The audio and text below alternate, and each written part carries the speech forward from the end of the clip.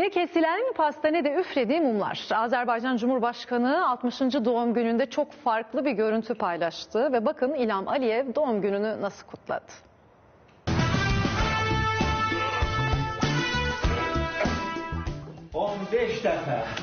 Bir değil beş değil, renkli kişiliğiyle bilinen Azerbaycan Cumhurbaşkanı 15 barfix çekti, o anlar sosyal medyada büyük beğeni topladı.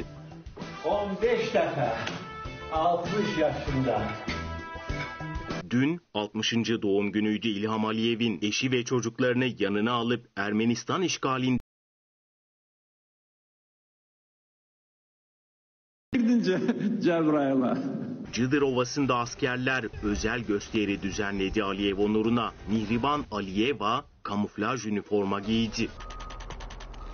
Cumhurbaşkanı Erdoğan video mesajla kutladı mevkidaşını. Azerbaycan televizyonu da Aliyev'in hayatını anlatan belgesel yayınladı.